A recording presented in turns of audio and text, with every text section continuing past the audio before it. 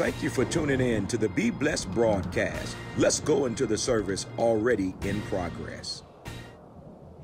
Amen, Apostle. As you pretty much painted the picture as to our history, as from where we began to how we've gotten to this point in time, as we were looking at the text in Joshua, I do want to point out that God is very strategic in how he promotes and how he renders from one place to the next. That. that he does nothing happenstance. He does nothing, Deacon Watson, by chance. That God begins to set something before us, give us the opportunity to respond. And if we respond the way that he desires us to respond, he allows us to forge ahead. And he allows us to forge ahead and reminds us that I'm giving you this because you've already proven yourself. I'm going to say that again. Wow. He strategically strategically sets us up. He begins to test us, and then we follow the test and obey what he's wow. telling us to do. He says you can forge ahead. And as you're forging ahead, Minister Des, you don't have to pay for this. You don't have to fight for this. You don't have to wrestle for this. You've already did that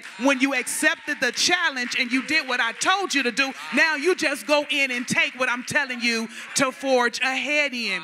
When we look at the book of Joshua, it is about a book of, of, of wars, about a book of victories, fighting and seeing the hand of God. We know here when we begin to see Joshua on the scene, Moses, the servant of the Lord, is now dead. He has already proven himself. He has already took, took his test. He has already led them over the Red Sea. He's already had his fights with Pharaoh, the man who he grew up under. Part of his test was being able to stand Tina before his mentor and tell his mentor, Let my God's people go. I don't care to receive or to be the beneficiary of your kingdom. I serve a greater God that's greater than you. He's only known the hand of Pharaoh, but part of his test, Sister Tracy, was to stand in front of his mentor and tell his mentor, I serve a greater God than you. He passed that test. He stayed in Egypt. He led God's people out. He stayed there for the plagues and he led God's people out. He led them across the Red Sea. Help me in this place,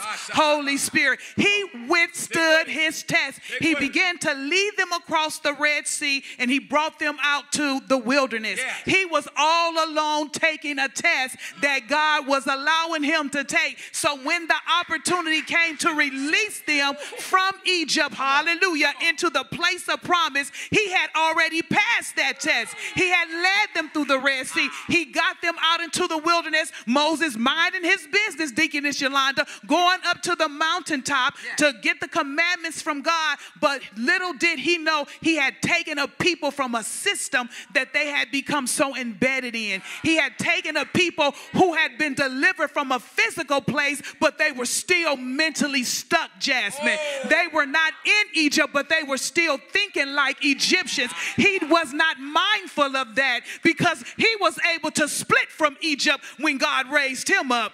Hey. He was able to do what God told him to do when God raised him up. So I can imagine him thinking, this ought to be clear. Y'all cried and said, God delivered us. Y'all cried and said, by reason of these taskmasters, we're out here making brick and mortar. God deliver us. Our fingers are tired. Our fingers are nimble. And then when God raised you up a deliverer, you want to go and start fighting against God. In Moses' mind, he can't reconcile this. He's just thinking, Deaconess Yolanda, he has a compliant people who asked to be delivered and now they're delivered. What's the problem now? He's not thinking, Teresa, that once they delivered, they're going to go and make a calf. He's not thinking that once they're delivered, they're going to turn their back on the God that delivered them. He's not thinking that once he pulled them out of Egypt, that they were going to turn on him and turn on God. He was not thinking that because he was the one who had to stand before his mentor face to face. They weren't standing before Pharaoh. They were not telling Pharaoh to let my people go. They weren't the ones with a speech impediment and had to go and talk before Pharaoh. All that was on Moses' shoulder. Somebody told me that the one that wears the, the crown is heavy on the head that leads. Help me in this place, Holy Ghost. And so as Moses is leading them, he was once Pharaoh's son. Now he's Pharaoh's enemy. That's a test for somebody. Many of us can't can't endure that kind of test. I was once your son, now I've become your enemy. And the word of God declares in Galatians, Have I become your enemy? Because I tell you the truth. Moses had to look to Pharaoh and tell him the truth. You are a creation of the greatest creator. You are not a God, Pharaoh. I know somebody who you will bow down to. He's not only the God in the heavens, but he ruleth in the kingdom of men. And you will let God's people go.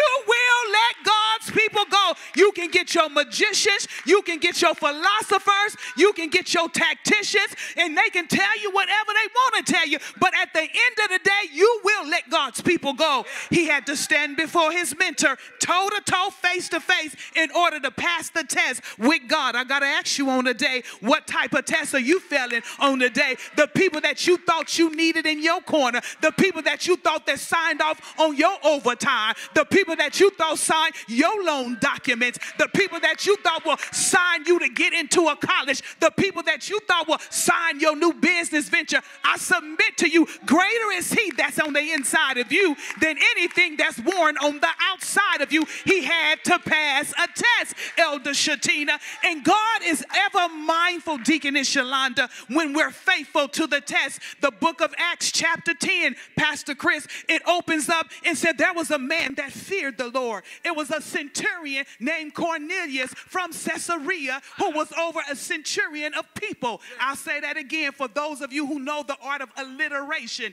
He was a centurion. His name was Cornelius. He was from Caesarea and he feared the Lord. I'll say that one more time. His name was Cornelius. He was a centurion and he was from Caesarea. And the Bible said he feared the Lord and he gave many alms unto Lord. Even though he was an Italian from the Italian band of Roman descent, he feared the Lord. The word of God says in verse number four, I love this because it goes to show that God is not unrighteous to forget your labor of love that you have demonstrated toward the saints and that you still minister to them. You can't do nothing for God and think you gonna outdo him.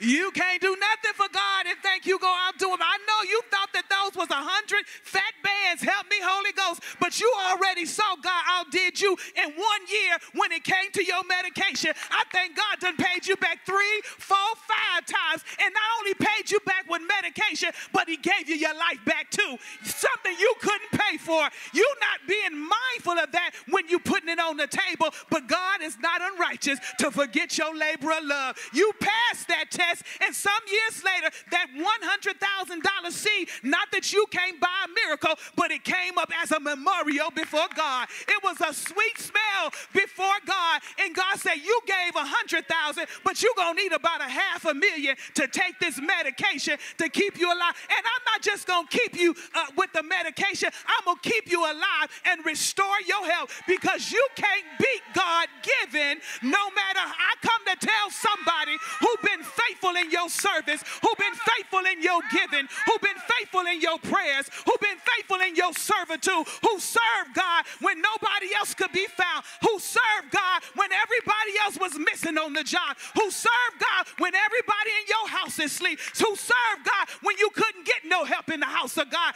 God is not unrighteous to forget your labor of love. You can't do something for God and God don't bring it back up for a memorial. This is our situation conversation with our friend Cornelius here in Acts chapter 10. Cornelius just loved the Lord. He was from Caesarea and he was a centurion, which means he was over a hundred people. He knew how to lead people, but he knew how to follow. He understood, although I'm from Rome, hallelujah, I know somebody that's greater than me. And so I'm going to not only pray to God, but I'm going to give alms. And the Bible said in a vision, the Lord went to Cornelius and told him, he said, he looked up when he saw in the vision. He was afraid. He said, What is it, Lord? This is what Cornelius is saying. Why are you troubling me? Why are you giving me this vision? Go to verse number four. Help me, Holy Ghost. Hallelujah. He says, What is it, Lord? And he said unto him, He said, Who is the him? The Lord said unto Cornelius, Your prayers and your alms are come up for a memorial before God. If you've done anything, Elder Stacy, for God in the house of God, I come to remind you on this 25th anniversary that your prayer and your alms are up before a memorial before God. Elder Denise, all of the years of praying, all of the years of serving, somebody need to step in the water and understand that your prayers, your alms, your giving, your good deed, your servitude has gone into the nostril of God, and God is ready to bless you for your labor of love. Look at your neighbor and tell him you can't outdo God given. You can't outdo God given no matter how hard you try. He said, Cornelius, I wanted you to understand your prayer and your giving has come up before me. And God not only saved Cornelius, but he saved his entire household.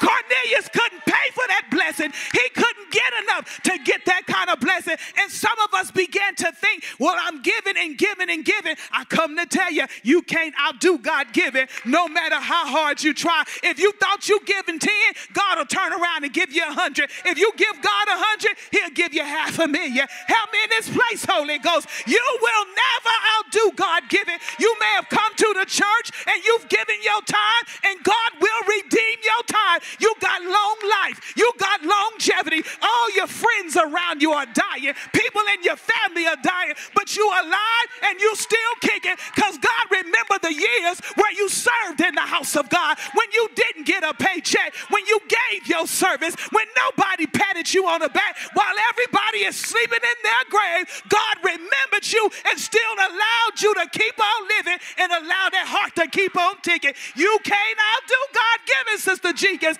no matter how hard you try. You served here in the house of God. You've answered the church folks. You vacuum and you clean. But look at you today, Sister Jenkins. Look at you today, JJ. Look at you today, Elder Denise. Look at you today, Mother Money. You can't do something for God and you think you're going to outdo God in your giving. Your prayers, Kiana. Your giving. May the works I've done speak for me, oh God. God is saying to you, when you have served me, when you've given your arms, it has come up for a memorial. I'm telling you to forge ahead. If you're not forging ahead, you have simply denied your blessing, not because I didn't give it to you, but because you didn't believe me for it. I'm telling you, in this season, as God is telling you to forge ahead, it's not because you may have the route, the route of resources, you have the right connections, you have the right aptitude, you have the ingenuity to create. I'm, I submit to you, most of the time we don't have any of that. It's but by the grace of God that many of us are entering into deals, entering into rooms, sitting at tables, getting blessings that our eyes have not seen, our ears have not heard. It hasn't even entered into your heart the things that God has prepared for you that love Him. God said, I gave you a test just like I test Moses. It is that same test He gave Cornelius. Just as he blessed Moses, he allowed Moses only forfeited the promised land because he kept his eyes on people. As Moses kept his eyes on God, he could have led them not only across the Red Sea, but he could have led them across the Jordan River. But because he got his eyes on people, Kev, he missed his opportunity to make it good with God. And God says, We've come to the end of the road, buddy. I can't go no further with you because you're more concerned about pacifying the people than you are with pacifying me. I thank you for your service. I blessed you with Pharaoh. I've crossed you over the Red Sea. I've kept you in the wilderness for 40 years, but now your season is up. That is a word for somebody who got your mind on people. God will use you as long as you want to be used, as long as you avail yourself to be used. You have to be fit for the master's use. Keep your eyes unto the hills from which cometh your help. Don't allow yourself to be distracted with people because people, just like Moses, will make you miss your promised land. It's not that God didn't intend for him to go there. He started looking at the people and talking on the people's level instead of staying the leader. He got on the level with the people.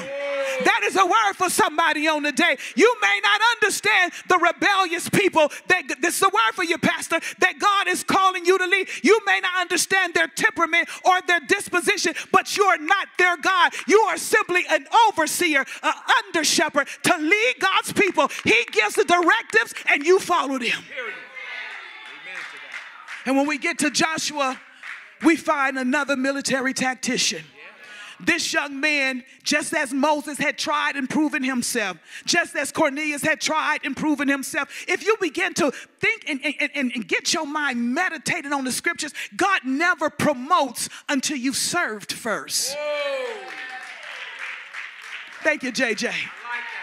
Thank you, mother. Most of us want to be promoted, then we, we promote and then still don't want to serve.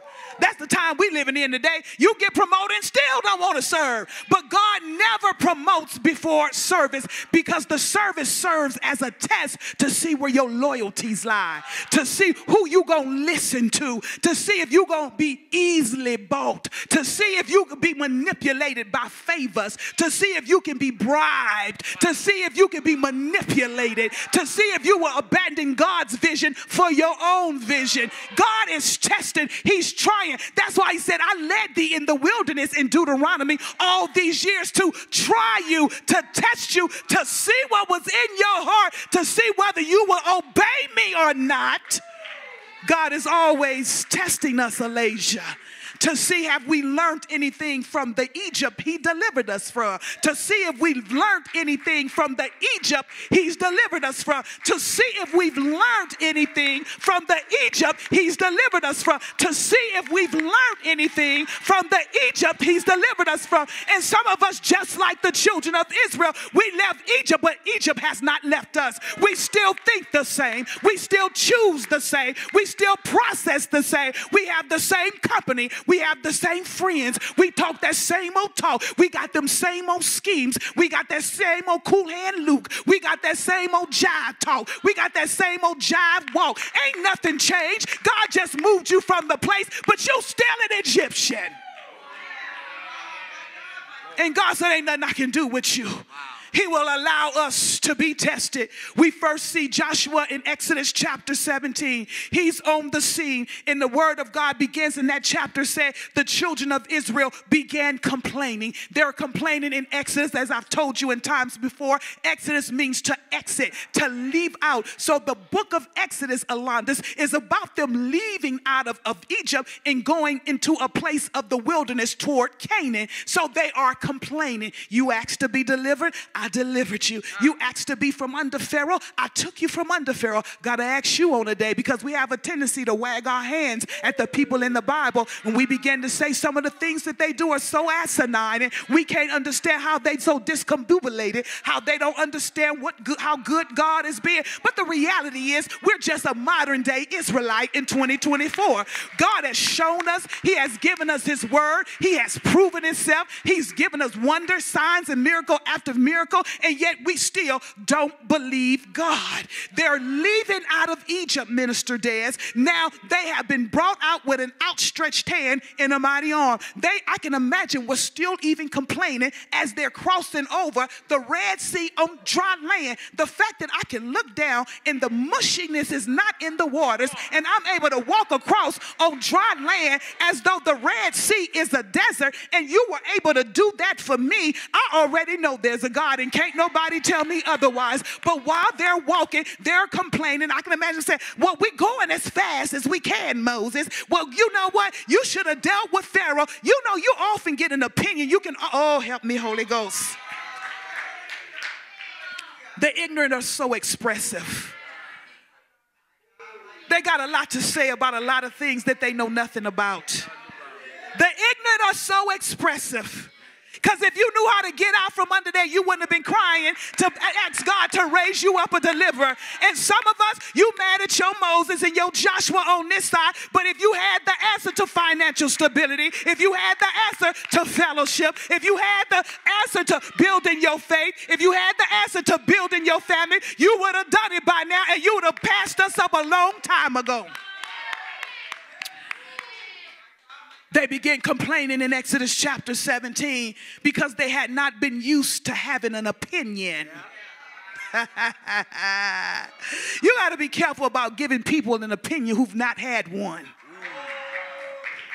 You try to give them a little room and they just take it way too far. They begin to express how discontented they were about being in the wilderness. We want water. Give us water. God allowed water to come from a rock. And the Bible declared that the Amalekites began to come upon the Israelites. I believe that the Lord allowed the Amalekites to come upon them because they was complaining. He allowed their enemies to come upon them so the Lord, the word of the Lord said in Joshua, the first time we hear of Joshua in Exodus 17, the word of the Lord said, and Moses told Joshua to go and find ye some men so that you can go and fight.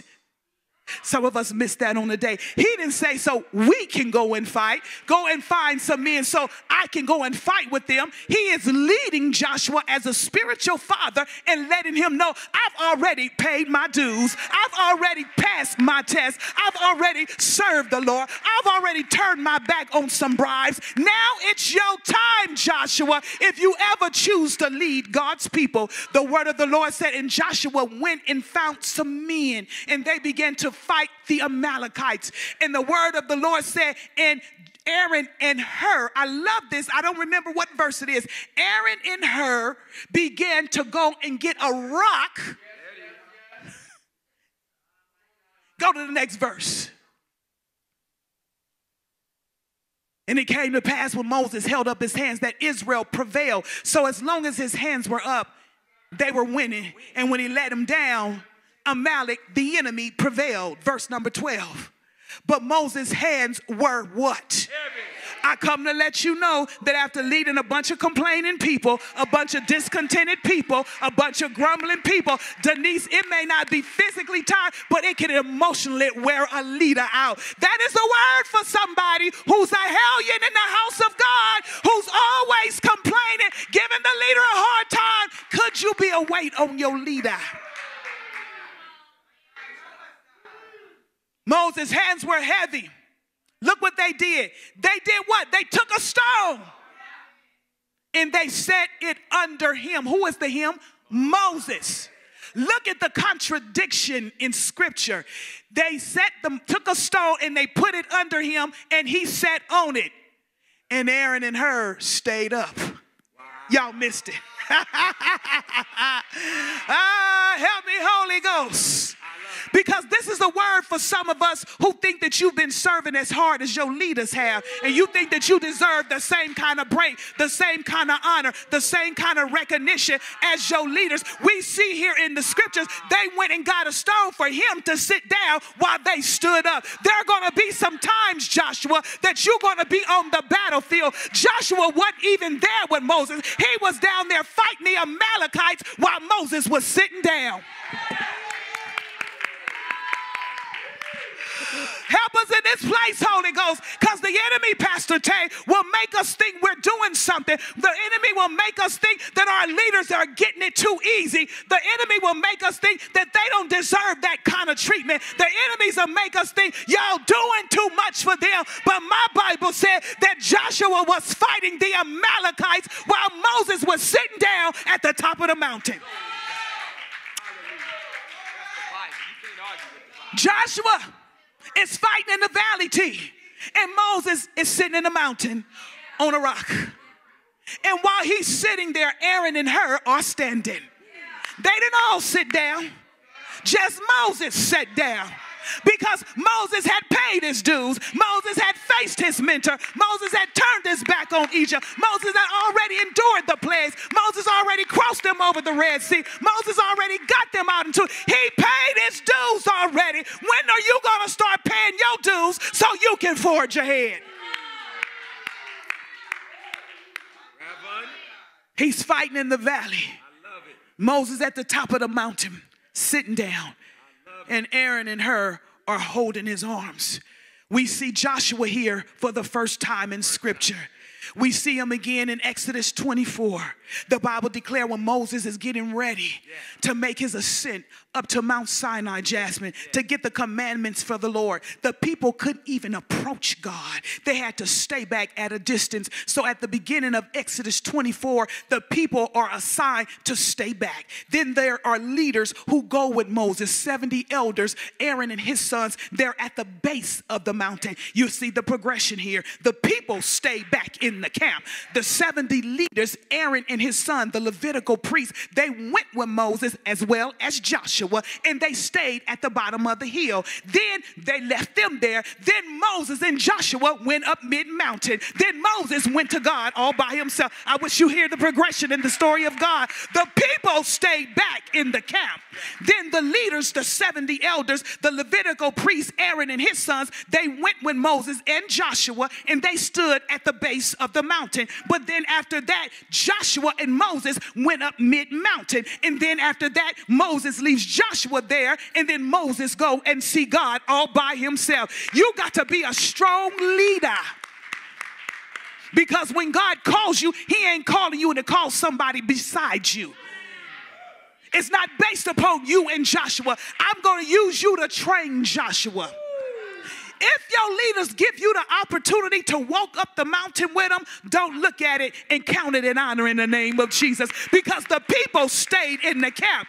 The leaders in the Levitical piece were at the base of the mountain. It was only Joshua that went with Moses mid mountain. The others were in the camp at the base of the mountain, but it was Joshua. God had found favor with Joshua. Could it have been when he had fought the battle in Exodus 17 that he had seen his labor of love? He has seen his commitment. He has seen his loyalties. He had paid his dues. It was that same Joshua who would look in Numbers chapter 14 and said, We're we're more than able to overcome it. Don't allow the report of the, the 10 to, to, to discontent us and make us think that we can't. It was that same Joshua. Now Joshua had paid his dues, and now we see him forging ahead in Joshua chapter 1. He's forging ahead. We've seen him in Exodus 17 fighting the Amalekites. We've seen him in Exodus 24 going up mid mountain to, to the mountain of God with Moses. He's under the tutelage, he's under training, Teresa. And when the man and the woman of God gives opportunities to be trained, many of you don't even recognize what it is.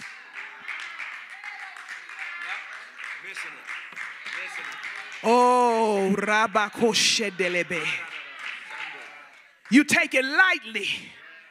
But it was the same training that he got from Moses that qualified him to forge ahead and to lead God's people into the place of promise. It's the same training we see with Joshua. Joshua is a type of Christ. We see Joshua, we see Jesus. His name is Jesus in the Greek, but in Hebrew is translated Joshua. He's a type of Christ. We see the similarities between the two. The, the, central, the central story of redemption was Christ's work on the cross that he will provide our people he will provide us with rest after we've come and accepted him read hebrews chapter 3 and 4 he talks about a rest because many people will assume that canaan represents heaven right. canaan represents a type of rest the same kind of rest we're supposed to be getting when we come to Jesus Christ and give Him our hand in our heart. And the central theme for redemption in the Old Testament is Joshua and Moses taking them out of Egypt into the place of promise. When we get here in Joshua chapter 1, the Lord is telling Joshua, Don't you be afraid. I've been preparing you for a long time. I want to leave some of you with this. Don't get your eyes on your Moses. Don't get your eyes on your leaders. We have our own tests. You have your own test that you have to follow. You will not be able to forge ahead if you don't pass your test. And God is allowing you to take the same test over and over again because you keep failing it. God is saying to us as a corporate body, you've been at this place long enough. I come to do signs, wonders, and miracles. The word of the Lord says, You and your sons shall be for signs and wonders. God wants to allow this ministry to be for a sign and a wonder. He wants to do with us expeditiously what no other ministry is doing. Nobody's talking about paying off their mortgage in five years. It, it, it's, it's not even the seventh year. Five years, deacon, in a recession. I don't care if they didn't tell you, we are in a type of recession right now. Anytime you can go to the grocery store, get a bread, some bologna, some cheese, and a, a, a, a Pepsi, and some chips, and, and, a, and a pack of a ground beef that's 80% lean and 20% fat, and they tell you your bill is $80, we're in a recession. These are the two $80 bags. Two bags. And depending on how much meat you get, it may be one. But God will allow you to be a sign and a wonder. A sign and a wonder when He puts His super on your natural.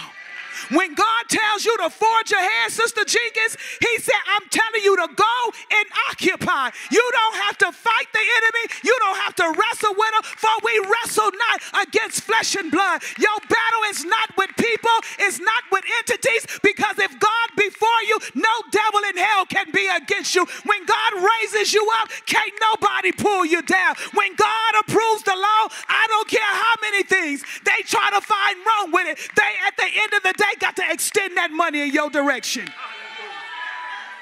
I don't care what your FICO score is.